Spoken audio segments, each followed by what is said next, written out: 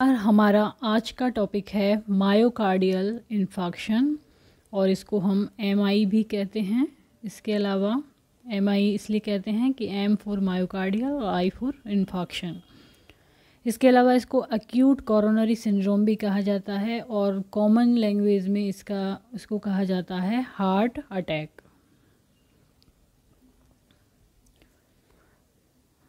acute coronary syndrome ACS और myocardial infection और MI और heart attack is an emergent situation characterized by an acute onset of myocardial ischemia that result in myocardial death.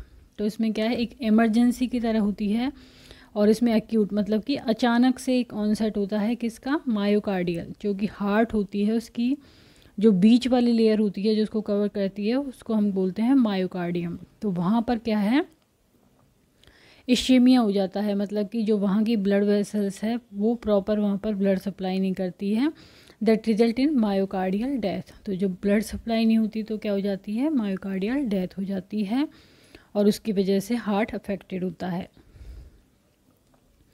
Coronary occlusion heart attack and myocardial infection are used synonymously तो इसके ये भी नाम हैं। The spectrum of A C S include angina non S T segment elevation M I and S T segment elevation M I तो इनके ये अलग अलग एक तरह से क्या हैं स्टेजेस हैं। नेक्स्ट हम पढ़ेंगे इसकी पैथोफिजियोलॉजी के बारे में। तो profound imbalance exist between myocardial oxygen supply and demand तो जो मायोकार्डियम हार्ट की लेयर होती है, उसकी डिमांड जो होती है, उसकी जो मांग होती है, उसके अनुसार उसको ऑक्सीजन की सप्लाई नहीं मिल पाती क्योंकि वहाँ पर क्या हो जाता है शिमिया हो जाता है। Early recognition and treatment of patient presenting with M I will improve their chance of survival यदि इसको हम जल्दी पहचान लें और जल्दी इसका इलाज कर दें तो उस पेशेंट की ज़िंदा रहने के जो चांस हैं वो बढ़ जाते हैं किसके? एम आई पेशेंट के। The twelve lead E C G identify the type and location of the M I यदि हम ई सी जी करें, कौन सी? ट्वेल्व लीड ई सी जी तो उससे हमें टाइप का पता चलता है और लोकेशन का पता चलता है कि जो एम आई है, वो कहाँ पर हुआ है। अनस्टेबल एंजाइना स्टेबल एंजाइना तो क्योर हो जाता है, सही हो जाता है। अनस्टेबल एंजाइना होता है इसमें। And development of infarction infarction का मतलब है जब ब्लड सप्लाई उस पार्ट को नहीं होती तो वो डेड हो जाता है, इसलिए उसको इन्फाक्ट बोलते हैं। अब हम जानेंगे इसकी पैथोफिजियोलॉजी के बारे में, किसकी? मायोकार्डियल इन्फाक्शन इसके कारण क्या हैं? कॉरोनरी आर्थ्रोस्क्लेरोसिस जो कॉरोनरी आर्टरीज हैं, उनमें फैट जमा हो जाना। कॉरोनरी थ्रोम्बोसिस थ्रोम्बस बन जाना यहाँ पर, और एम्बोलिज्म एम्बोलिज्म क्या है? जो थ्रोम्बस है वो घूम के किसी दूसरी जगह पे जम जाता है और इसकी जो ल्यूमन होती है, ये कम हो जाती है। तो ये कारण होते हैं इसके। देन अब जो कोरोनरी आर्थ्रोस्कोसिस हुआ है, उससे क्या हो गया? Progressive narrowing of blood vessels Sakri हो जाती है ये ब्लड वेसल इसके अलावा risk of excessive blood clot formation और ज़्यादा क्लॉट फॉर्मेशन के जो रिस्क है, वो बढ़ जाता है। इससे क्या होगा? नैरोइंग ऑफ़ ब्लड वेसल से इश्यमिया हो जाएगा हार्ट मसल्स का, वहाँ पर ऑक्सीजन कम पहुँच पाएगी। और क्लॉट ज़्यादा होने से क्या हो जाएगा? थ्रोम्बो एम्बोलिज्म हो जाएगा। इन सब की वजह से क्या हो जाता है? वहाँ पर ऑक्सीजन की कमी हो जाती है, जिसको हम बोलते हैं हाइपोक्सिया और हाइपोक्सिया होने की वजह से वो जो टिश्यू है, वो नेक्रोसिस हो जाता है, क्योंकि वहाँ पर ब्लड सप्लाई नहीं हो रही ऑक्सीजन नहीं जा रही है। इसके बाद क्या होगा? एनोरोविक मेटाबॉलिज्म चालू चालू होगा, जिससे कि लैक्टिक एसिड बनेगा और चेस्ट पेन होगा और मसल स्पाज्म होगा। तो ये किस वजह से होता है? लैक्टिक एसिड फॉर्मेशन से। और क्या होगा नेक्रोसिस से? रिलीज़ ऑफ़ लाइजोजोमल एंजाइम निकलेंगे। अल्टर्ड डिपोलराइजेशन जो होता है, वो अल्टर्ड हो जाएगा। अल्टर्ड रिपोलराइजेशन जो हार्ट के फ़ंक्शन हैं देन अल्टीमेटली क्या हो जाएगा? मायोकार्डियल इन्फेक्शन इससे भी मायोकार्डियल इन्फेक्शन और यहाँ भी। इसके अलावा जो मायोकार्डियल इन्फेक्शन है, इसकी वजह से क्या होता है? चेस्ट पेन देन आता है डिक्रीज मायोकार्डियल कॉन्ट्रेक्टिलिटी क्योंकि मायोकार्डियल जो ब्लड है, वहाँ पर सही ढंग से नहीं पहुँच पा रहा नेक्रोसिस हो गया तो जो संकुचन होता है हार्ट का, वो प्रॉपर नहीं हो पाएगा। डिक्रीज कार्डिक आउटपुट तो उससे जो कार्डिक से जो ब्लड आउट होता है और पूरे शरीर में जाता है, वो कम हो जाएगा। And then renal ischemia oliguria इससे किडनी में भी ब्लड प्रॉपर नहीं पहुँच पाएगा तो वहाँ पर भी रीनल इश्चेमिया हो जाएगा और ओलिग्यूरिया हो जाएगा। तो यदि इसके कॉजेज़ की बात करें तो बैसो स्पाज्म मतलब कि जो ब्लड वेसल्स है, उसमें स्पाज्म आ जाना मतलब वो सिकुड़ जाना डिक्रीज ऑक्सीजन सप्लाई हो जाना और इंक्रीज डिमांड जो ऑक्सीजन की डिमांड है, वो बढ़ जाना। क्लिनिकल मैनिफेस्टेशन, लक्षण, सिम्टम्स क्या होंगे इसके? पहला होगा चेस्ट पेन, जो इसके लिए पर्टिकुलर है। दैट अकर सडनली ये कैसे होता है? एकदम से अचानक and continuous despite rest and medication तो यहाँ पर हम आराम भी कर ले पेशेंट और मेडिकेशन भी ले ले, उसके बाद भी ये रिलीव नहीं होता, जबकि एंजाइना में रेस्ट और मेडिकेशन से रिलीव हो जाता है। इसके अलावा ऑक्सीजन सप्लाई नहीं हो रही हाइपोक्सिया हो रहा है तो शॉर्टनेस ऑफ़ ब्रेथ सांस में सांस लेने में परेशानी इंडाइजेशन होगा result of the stimulation of the sympathetic nervous system क्योंकि जब इश्ेमिया हो रहा है ब्लड कार्डियक आउटपुट कम हो रहा है तो उससे क्या होगा? जो सिंपैथेटिक नर्वस सिस्टम है, उसका स्टिमुलेशन हो जाएगा और उस वजह से इंडाइजेशन हो जाएगा. देन टेकिकार्डिया होगा टेकिपनिया होगा nausea anxiety and catecholamine response होगा. तो ये सब क्लिनिकल मैनिफेस्टेशन देन प्रिवेंशन बचाव कैसे किया जाए इसका? तो एक्सरसाइज करने से बैलेंस डाइट लेने से और स्मोकिंग को बंद करने से स्मोकिंग सेसेशन देन आता है assessment and findings diagnostic findings कैसे डायग्नोस करते हैं इसको? एमआई को तो ट्वेल्व लीड ईसीजी करते हैं लेबोरेटरी टेस्ट करते हैं, जिसमें कि सीरियल कार्डियक बायोमार्कर देखते हैं। Are perform to classify whether patient has unstable angina है उसको, या N S E M I है, या S T E M I है। ये सब जानने के लिए हम क्या करते हैं? सीरियल कार्डियोमार्कर और ट्वेल्व लीड जी और लेबोरेटरी टेस्ट पेशेंट की हिस्ट्री लेते हैं। E C G it should be obtain within ten minute में लेते हैं इसको। From the time the patient report pain और arrives in the emergency department अब इसमें ईसीजी e में क्या क्या चेंजेस आएँगे? टी वेव इन्वर्जन हो जाएगा टी वेव का एस टी सेंगवेन का एलिवेशन हो जाएगा and development of an abnormal Q wave और क्यू वेव कैसे आएगी? एबनॉर्मल आएगी। Inversion of T wave because of altered repolarization जो हार्ट का रिपोलराइजेशन है, वो अल्टर्ड हो जाता है, इसलिए टी वेव इन्वर्जन आती है।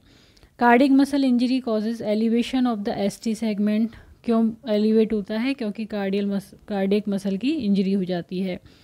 Later Q wave develop because of because of the absence of depolarization तो डीपोलराइजेशन की एब्सेंस की वजह से क्यू वेव डेवलप हो जाती है।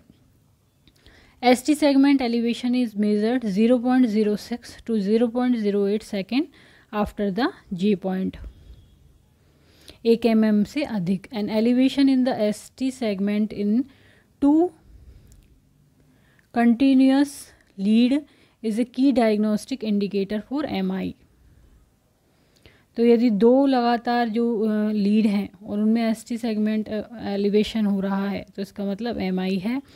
Unstable angina clinical manifestation of coronary ischemia but ECG and cardiac biomarker show no evidence of acute MI तो unstable angina में क्या होगा? क्या फाइंडिंग्स आएँगी? कि ईसीजी और कार्डियक बायोमार्कर जो हैं, वो एक्यूट एमआई की एविडेंस नहीं बताएँगे।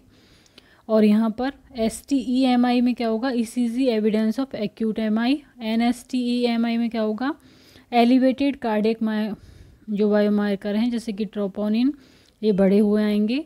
But no definite E C G evidence में कोई डेफिनेट नहीं आएगी finding N M I the S T segment often is the first E C G indicator to return to normal Q wave alteration are usually permanent तो यदि recovery हो गई है patient की एम आई से तो क्या होगा? जो एस टी सेगमेंट होगा, वो उससे अंदाज़ा लगाया जाएगा कि जो वो नॉर्मल आ जाता है तो इसका मतलब ये है कि रिकवरी हुई है, जबकि क्यू वेव अल्ट्रेशन को क्या होगा? परमानेंट होगा। नेक्स्ट आता है echocardiogram can detect hypokinetic and akinetic wall motion and can determine the ejection fraction. Next आते हैं cardiac enzyme and biomarker troponin I और ट्रोपोनिन टी आर स्पेसिफिक को कार्डियक मसल्स तो ये दोनों इंपॉर्टेंट हैं troponin I and troponin T levels are elevated at four to six hour चार से छः घंटे में इनके जो लेवल हैं वो बढ़े हुए आते हैं। पीक कब होते हैं ये? चौदह से अठारह घंटे में। और रिटर्न टू बेस लाइन छः से सात दिन में अपनी बेस लाइन में आ जाते हैं। Then C P K M B is the cardiac specific isoenzyme होता है। ये एलिवेटेड होता है फोर टू एट आवर में। पीक पे पहुँच जाता है ये बारह से बीस घंटे में। और रिटर्न टू बेस लाइन ये आ जाता है अड़तालीस से बहत्तर घंटे में। Elevated C K M B is an indicator of acute M I तो यदि सी के एम बी बढ़ रहा है तो मतलब कि उसको एक्यूट एम आई है। इसके अलावा इलेक्ट्रोलाइट देखे जाते हैं myoglobin E S R W B C chest X-ray A B G pulse oximetry coronary angiography M R I exercise stress test ये सब डायग्नोसिस किए जाते हैं। अगला है मेडिकल मैनेजमेंट तो अब इसका मेडिकल मैनेजमेंट कैसे किया जाता है? The goal of medical management are to minimise myocardial damage जो ऑक्सीजन की कमी की वजह से वहाँ पर डैमेज हो रहा है मायोकार्डियम का, वो कम से कम हो। एंड प्रिजर्व मायोकार्डियल फ़ंक्शन जो है वो प्रिजर्व हों एंड कॉम्प्लिकेशन नहीं हो prevent complication the patient with suspected M I should immediately receive supplemental oxygen उसको देना है। एस्पेरिन, नाइट्रोग्लिसरीन एंड मॉर्फिन, ये इनको दिए जाते हैं। और ये डॉक्टर अपनी, डॉक्टर की सलाह पर ही लेने चाहिए और ये डॉक्टर इस कंडीशन में देते हैं। ए सी ई इनिवेटर एंड थ्रोम्बोलाइटिक्स अब है एमरजेंट परक्यूटेनियस कोरोनरी इंटरवेंशन जिसको हम बोलते हैं पीसीआई तो ये इसमें किया जाता है। The patient with S T M I is taken directly to the cardiac catheterisation laboratory में लिया जाता है और इमीडिएट क्या किया जाता है? PCI thrombolytic therapy is initiated when primary PCI is not available अब पीसीआई कहीं पे अवेलेबल नहीं है तो थ्रोम्बोलाइटिक जो थ्रोम्बस है, उनको ख़त्म करके उसको क्लियर करा जाए उसके थ्रोम्बोलाइटिक थेरेपी दी जाती है। इसमें जैसे कि एक्टिवेज रेटाप्लेज ये दी जाते हैं। To dissolve the thrombus in coronary artery following PCI और thrombolytic fibrinolytic therapy continuous cardiac monitoring is indicated in ICU ACE inhibitor दिए जाते हैं। कार्डिक रिहेबिलिटेशन के लिए सेल्फ केयर रिज्यूम में normal life after an MI rest activity का balance होना चाहिए और मेडिकेशन फॉलो होनी चाहिए। Medication regime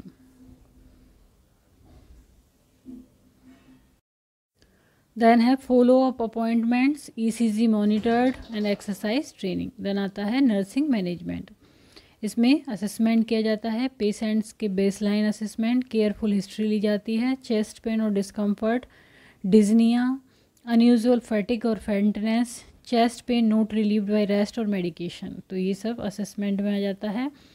the nursing diagnosis में पहला है acute pain related to tissue ischaemia coronary artery occlusion. Increase myocardial oxygen demand and decrease myocardial oxygen supply. तो इसकी वजह से वहाँ पर लैक्टिक एसिड बनता है और एक्यूट पेन होता है, जो हम पहले पैथोफिजियोलॉजी में देख चुके हैं। तो इसका असेसमेंट करेंगे chest pain facial grimacing restless changes in pulse and BP nursing intervention क्या होगा इसका? ऑक्सीजन दो से चार लीटर पर minute usually by nasal cannula के द्वारा physical rest in bed with the need of head of the bed elevated जो सिर वाला हिस्सा है वो एलिवेटेड रहेगा। Instruct patient to do relaxation techniques patient से कहेंगे कि वो रिलैक्सेशन टेक्निक को अपनाएँ, उनको बताएँगे कैसे होना रिलैक्स एंटी एंजाइनल्स जैसे कि नाइट्रोग्लिसरीन है, ये देंगे। बीटा ब्लॉकर्स जैसे कि एटनोलॉल है, ये देंगे। और एनाल्जेसिक्स मॉर्फिन और मेपेराडीन ये दिया जाएगा उनको। देन सेकेंड है nursing diagnosis risk for decrease cardiac tissue perfusion related to reduced coronary blood flow coronary blood flow की वजह से क्या हो रहा है? कार्डिक जो टिश्यू है, उनमें परफ्यूजन डिक्रीज हो रहा है तो इसका रिस्क है। असेसमेंट है inspect for pallor cyanosis and mottling cool and clammy skin and respiration nursing intervention में करेंगे। Monitor intake and output monitor respiration assessing GI function encourage active और passive leg exercises anti platelet agents monitor laboratory data A D G B U N creatinine PTA-PTT anticoagulants, bed और chair rest, administer oxygen. Then आता risk for ineffective peripheral tissue perfusion related to decrease cardiac output. Cardiac output कम हो रहा है। इस condition में तो peripheral tissue perfusion भी इनफेक्टिव है तो इसका रिस्क है। तो कार्डियक आउटपुट कहाँ से कम हो रहा है? फ्रॉम लेफ़्ट वेंटिकुलर डिसफंक्शन तो असेसमेंट में आएगा इसमें skin temperature and peripheral pulse nursing intervention में आएगा। ऑस्कल्टेड बीपी बीपी लेना। Skin temperature and peripheral pulse must be checked frequently to monitor tissue perfusion के लिए क्या चेक करेंगे? स्किन का टेम्परेचर और peripheral pulse. Provide small and easily digested meals देंगे। Administer supplemental oxygen, maintain IV और heplock access as indicated. अगला nursing diagnosis है। Risk for imbalanced fluid volume. इसमें नर्सिंग इंटरवेंशन में auscultated breath sound for present of crackles nausea and I and O measure करेंगे क्या? Intake and output weight daily daily weight किया जाएगा. Provide low sodium diet देंगे. Administer diuretic then next nursing diagnosis है. Anxiety related to cardiac event and possible death तो उसके लिए observe for verbal and normal sign of anxiety देखेंगे। Answer all question factually fact के हिसाब से ही सब क्वेश्चंस का आंसर देंगे। Provide privacy for patient provide rest period encourage independence self care and decision making anti anxiety जैसे कि एल्प्राजोलम